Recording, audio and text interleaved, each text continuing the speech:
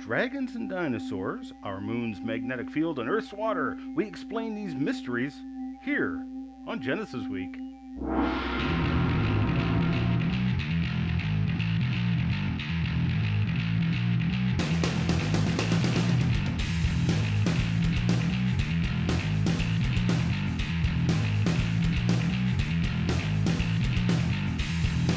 Welcome to this episode of Genesis Week, the weekly program of creationary commentary on news, views, and events pertaining to the Origins controversy, made possible by you, the supporters of Core Ottawa, Citizens for Origins Research and Education.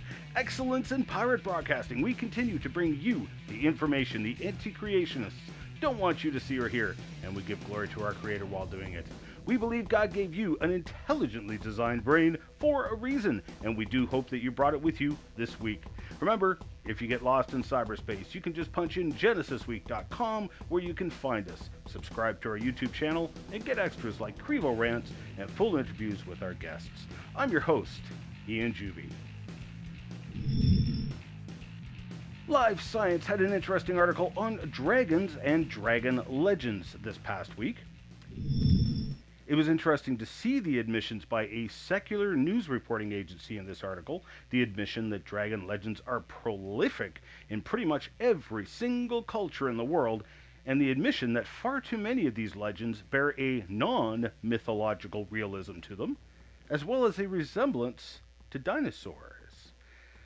Author Benjamin Radford starts off by acknowledging how prolific dragons are in so many cultures, literally all over the world. He then states that nobody knows how, where, or why the stories of dragons first emerged. Well, here's a proposition for you. Perhaps it's because there were dragons all over the world in historic times. Gee, what a concept! The question then arises just what is a dragon? Uh, Even the Bible mentions dragons, so just what is a dragon? Now, we all have this culturally instilled picture of what a dragon supposedly looks like, but the typical dragon we think of is a mythologized chimera. That is, it's a combination of all the different types of dragons blended into one which has been exaggerated in typical mythology fashion when one looks at the specific descriptions of specific dragons, several things come to light. And I agree with Radford when he quotes the book of Job in the Bible. The behemoth and leviathan described in chapters 40 and 41 would be dragons of some sort, but also could be dinosaurs. Now, the name dinosaur was coined by Sir Richard Owen in 1841. English translations of the Bible were written before this word was invented, which is why you do not see the word dinosaur in the Bible. Now, Richard Owen was the founder of what is now the British Museum of Natural History. Now, before the term dinosaur became commonplace, and in fact for quite a while afterwards, the dinosaurs were called dragons. You can still see some of the historic fossils in the British Museum with dragon written on the stone slab. As Radford even acknowledges, the dragon legends and descriptions are so specific, so prolific, that the link between dragons and dinosaurs is too specific to be ignored. Entire books have been written on the subject, documenting the depictions of dinosaurs in ancient artwork, uh, such as David Woetzel's Chronicles of Dinosauria and Vance Nelson's book of dozens of new examples, Dire Dragons. Another example which Vance shared on this show was a native pictograph in the Amazon jungle. Only one example of many from around the world, in still yet another isolated culture, which depicts what is clearly a large sauropod like creature being hunted in the typical fashion by the tribesmen. Vance hopes to get a booklet out in April documenting this one specific fantastic find. Don Patton and Dennis Swift pursued reports of what appeared to be a stegosaurus carving on the temple pillars of Ta Prohm, Cambodia, dedicated in 1186 AD. The plates going down the back are a dead giveaway. It's a Stegosaurus. But even descriptions from historical accounts are too specific and quite believable. Both Herodotus and Aristotle spoke of small flying reptiles in Egypt, Arabia, and Ethiopia. They described them as small in size and of various colors, with a snake like body and bat like wings. Flocks of them would gather in frankincense trees, and when the workers wanted to harvest the trees, they would use smelly smoke to make the reptiles leave, much like a beekeeper uses smoke to keep bees at bay when working on a hive.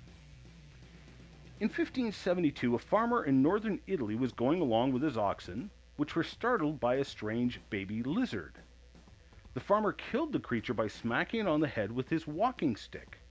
Ulysses Aldrovandus obtained the body of the dragon, drew it, and had it mounted in a museum. Aldrovandus concluded it was a baby because of its incompletely developed claws and teeth. Now, while strange looking, if we were to find this creature in fossil form, there is no doubt we would call it a type of dinosaur. In the Anglo Saxon Chronicle of 1405, we find a story of a strange and dangerous creature. Close to the town of Bures, near Sudbury, there has lately appeared to the great herd of the countryside a dragon, vast in body, with a crested head, teeth like a saw, and a tail extending to an enormous length. Having slaughtered the shepherd of the flock, it devoured many sheep. In order to destroy him, all the country people around were summoned. But when the dragon saw that he was again to be assailed with arrows, he fled into a marsh or mere, and there hid himself among the long reeds, and was no more seen. The description of this dragon is very believable, and so specific that we could easily suggest it matches the description of the Dilophosaurus, the two crested dragon, or using the more modern term, a two crested dinosaur. But herein lies the problem. According to the evolution myth, dinosaurs became extinct at least 60 million years before humans ever evolved. Therefore, if evolution is true, then humans and dinosaurs never saw each other. According to the scriptures, though, all land creatures, which would include the dinosaurs, and humans were created on the same day, day six of the creation week, about 6,000 years ago. The book of Job, with its description of dinosaur like creatures, was written after the flood of Noah. So the dinosaurs would have been brought on the ark and survived for at least a time after the flood, dwindling in numbers until they are very rare or possibly extinct today. So the evolutionists must account for these copious numbers of very specific, identifiable dragon stories and drawings that sound remarkably like dinosaurs, living in historic times.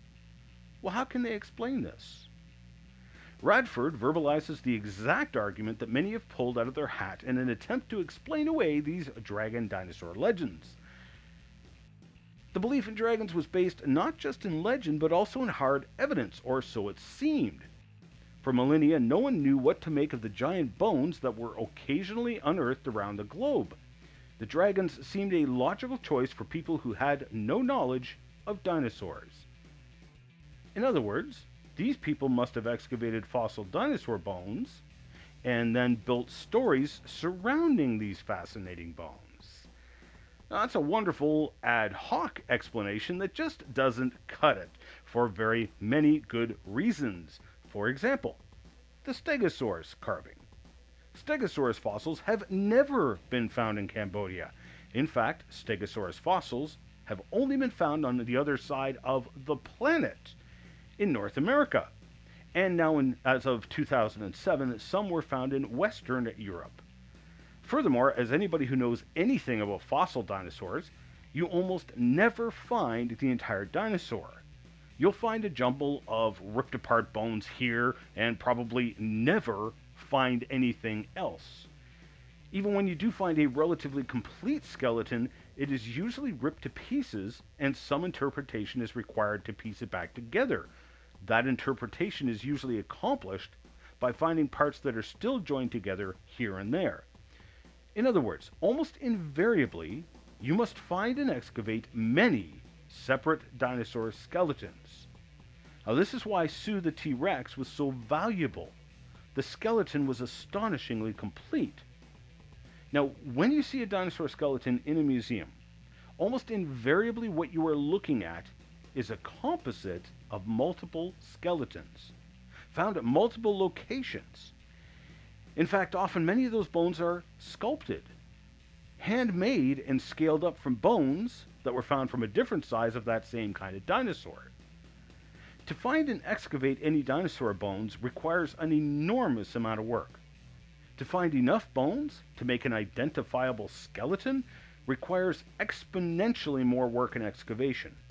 For example, the iguanodon, as it was originally constructed and originally described, was radically different from what we know now, after many more skeletons were found and studied by many people over many years. Now, I have been involved in the process of finding, excavating, preparing, molding, and casting dinosaur bones from beginning to end. It's thousands of man hours involved, large, dedicated facilities, many people. Today, the Modern Day Museum is where this all typically takes place. But to give you an idea of just how big a job it is, this plastered jacket of dinosaur bone, still in the rock matrix at a dig site in northern Colorado, was being excavated by Joe Taylor of Mount Blanco Fossil Museum and the Creation Evidence Museum, both of Texas. That lump of rock may contain a dozen or so bones and weighs upwards around 500 pounds. Now, a few hundred years from now, archaeologists searching out the remains of our now dead culture would find the remains of our fossil excavation and preparation facilities. This is because the process is so involved and requires such large facilities of so many people. So, when we are talking about legends and artwork depicting dinosaurs, remember, we're talking about all kinds of different cultures ancient Europe, ancient Babylon, tribal cultures in the Amazon rainforest, the Hopi Indians of North America. If these cultures were excavating dinosaurs, we would find archaeological evidence of such. We find no such archaeological evidence or historical evidence in any of these cultures. Further to that, both the verbal and artistic depictions of these dinosaurs refer to details such as skin. It is only after a century and a half of studies from around the world millions of man hours of research, millions of tons of technical equipment, and thousands and thousands of fossil dinosaur remains that we are able to say what little we can about dinosaur skin. Because fossil dinosaur skin is exceedingly rare. It's big news if dinosaur skin impressions or actual fossilized skin is found, because it is so rare. So, how did the ancients provide such details of identifiable dinosaurs, including specific details about their skin and colors? Well, the simplest, most logical explanation for all of this is that the ancient peoples saw living dinosaurs. Now, why is that so hard to believe? Well, there is only one reason evolutionism. Evolutionism demands millions of years. Evolutionism demands that dinosaurs became extinct millions of years before humans evolved. Even evolutionary scholars have admitted that if humans and dinosaurs lived at the same time, evolution would be destroyed and falsified as a theory. Well, here we have evidence that humans and dinosaurs coexisted by artwork and legends. We also find fossil evidence, such as the clearly human footprints alongside and sometimes in the fossil dinosaur tracks in the Paluxy River and elsewhere in the world. But on top of that, the fossil dinosaurs themselves provide powerful evidence that even the dead dinosaurs have only been dead for thousands of years, not millions. You'll recall the publication by Dr. Mary Schweitzer several moons ago about finding soft and stretchy tissues from inside a T Rex bone, complete with blood vessels containing red blood cells. Now, this was only one example of many found over the past century. Many of you longtime viewers will remember we had Mark Armitage on the show and actually showing bone cells and stretchy tissues from a Triceratops horn found in Montana. Uh, just this past week, Mark revealed some more footage in high definition on his YouTube channel. You can go and look at the video footage yourself. Now, it is impossible, flat out impossible, for these tissues to have been preserved for millions of years. Even more impossible is the apparent DNA still found in these tissues.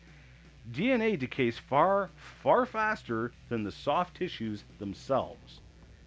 Another compound that decays in an absolute maximum of 100,000 years is carbon 14. Yet large quantities of carbon 14 have been found in dinosaur bones, wood fragments from the dinosaur bearing layers, etc. All of this shows that even the dead dinosaurs have only been dead within the time of mankind. Now, leading evolutionists have admitted that if dinosaurs and humans lived at the same time, it falsifies evolution and affirms a young Earth and the biblical creation account. By examining fossil, chemical, and historical data, we find multiple lines of copious evidence that man and dinosaurs did live together, and only in the past few thousand years. If the Bible's right about that, I wonder what else it's right about.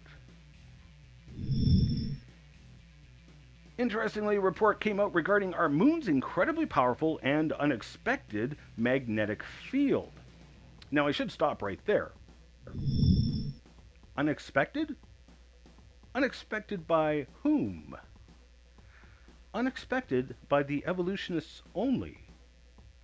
According to evolutionary theory, the moon is billions of years old and was too small, and now too old and too dead to have or ever have had a magnetic field. However, studies on lunar rocks have shown that not only did the moon have a magnetic field in the past, it had a magnetic field that may have been as much or more as 40% more powerful than Earth's present magnetic field. How on earth could a body that's just slightly more than a quarter the size of Earth generate a magnetic field as much as 40% more powerful than Earth's? Weiss and Tikoo, writing in Science magazine, acknowledged this uh, problem, though please note there is no problem. It is a man made problem because it does not fit evolutionary models of lunar evolution. May I suggest to you that the data is not the problem, but rather evolutionary and naturalistic models are the problem. These models don't fit the facts. That's the problem.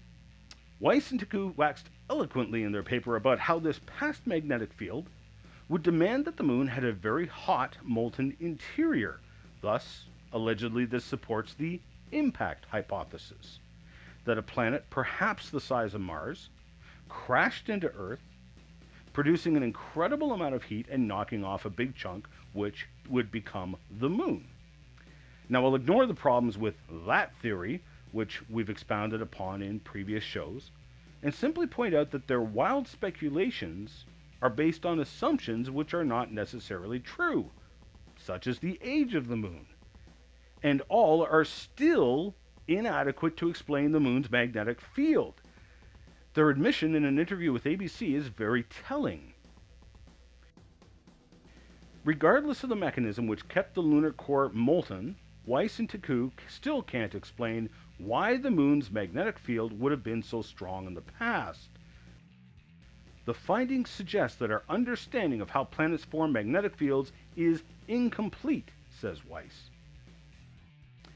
So, evolutionary and naturalistic theories of the formation of the moon are completely lacking in even explanatory power, let alone predictive power. Such models provide only questions, impossibilities, no answers, and failed predictions.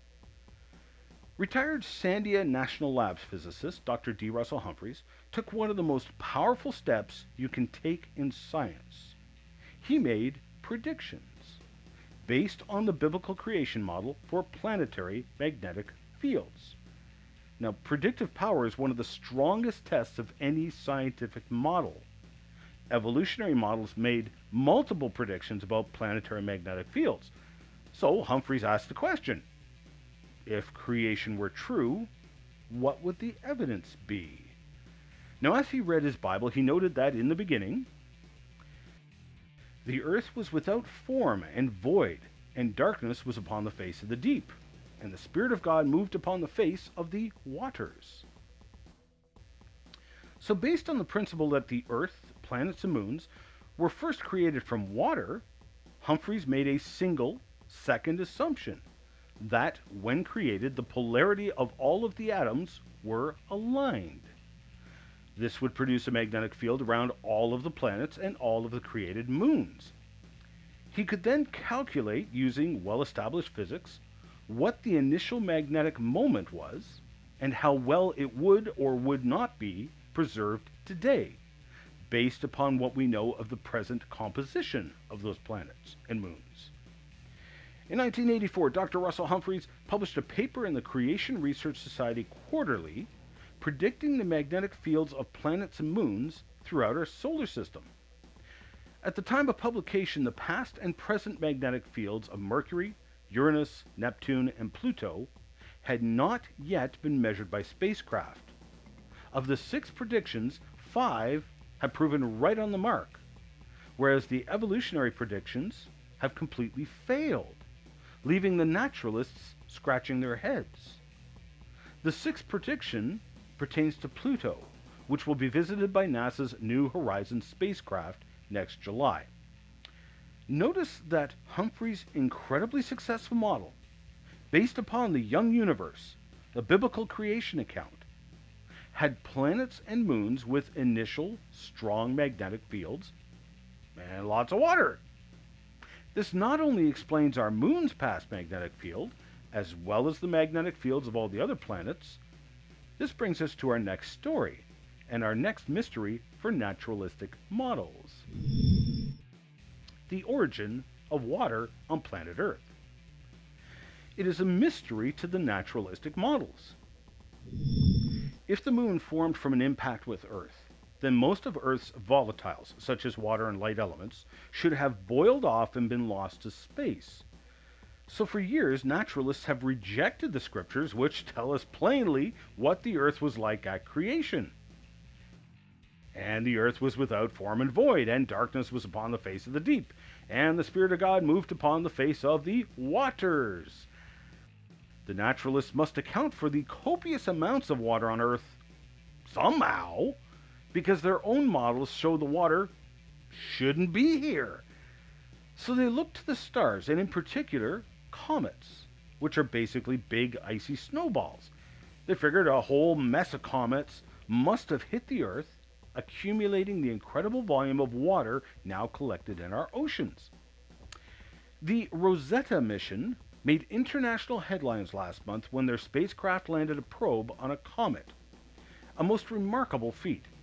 Bef- now, before that happened, though, the mothership, if you will, had already taken measurements of the comet's tail and found that the composition of the water within the comet was radically different than Earth's water. See, water naturally has heavy water in it, which is water that has a hydrogen atom with an extra neutron. This form of hydrogen is called deuterium. Well, it turns out this comet's water has about three times as much deuterium as Earth's water, which effectively rules out comets as the source of Earth's water. Well, I know the source of Earth's water. It was created by the same one who said, Whosoever drinketh of the water that I shall give him shall never thirst, but the water that I shall give him shall be in him a well of water springing up into everlasting life. That same Creator said that in order to obtain that everlasting life, you must be born again, turning from your sins, asking Him for forgiveness, giving your life to Him, and He promises you the gift of the Holy Spirit and eternal life. Stick around, we'll be back in a flash.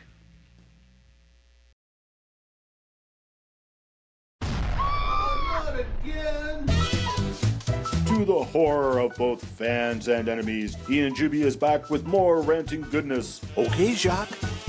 You first. Just when you thought his meds had kicked in, Ian goes off on a tangent about what killed the dinosaurs. The origin of life, defining evolution, and yes, even sex. It wasn't enough for an R rating, but nowadays, what is?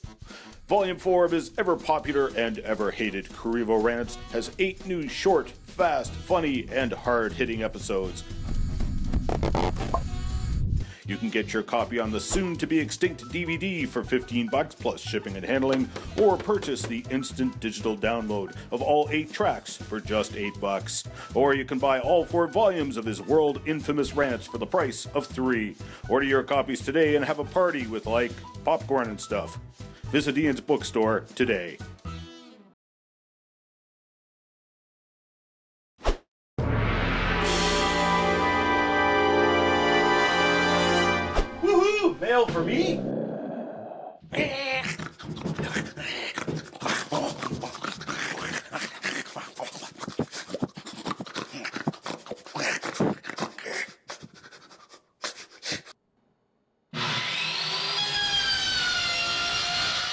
Hmm.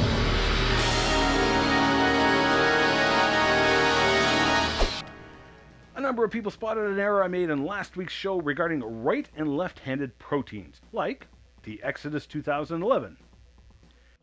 I think Ian got left handed and right handed mixed up. Proteins used left handed amino acids, but his argument still stands. Yes, you are all correct. Life is composed of left handed amino acids, not right. Sorry about that. Thanks again, Ian. I very much enjoy your videos. I hope they keep coming. Slow claps. Thank you, Ian. As someone who doesn't have the time to study science as she'd like to, I am extremely grateful for your continued affirmation that logic is the only true, necessary tool to divine truth in a world filled with lies. I appreciate your hard work and pray that God will bless you and CORE for your continuing work to put heavy science into a format that can be easily understood and to the benefit of God's kingdom. Thanks to Stephanie and all who wrote in. All right, I went way over time this week, so I got to call that a wrap. I'm your host, Ian Juby, signing off for now. Remember, you can send us your questions, comments, hate mail, and Tim Hortons gift certificate to us in a number of ways. You can email us at comments at genesisweek.com, or you can send us a tweet at genesisweek. Or you can go to genesisweek.com, which takes you to our YouTube channel, find the most recent show, and leave a comment there. Or you can visit our Facebook page at facebook.com slash genesisweektv. Remember those words of warning from our Creator, the Lord Jesus Christ, who said, I am the way, the truth, and the life. No man comes to the Father except through me. We'll see you on the flip side. We are a viewer supported program and need your support to keep this program on the air. Please pray for us, and if you wish to financially support the program, Canadians can make a tax deductible donation to Core Ottawa, Canada North Post Office Box 72075, Ottawa, Ontario, K2K 2P4. While we cannot offer tax deductible receipts outside of Canada, donors wishing to financially support the program can do so online at ianjuby.org/donations. And thank you for your support.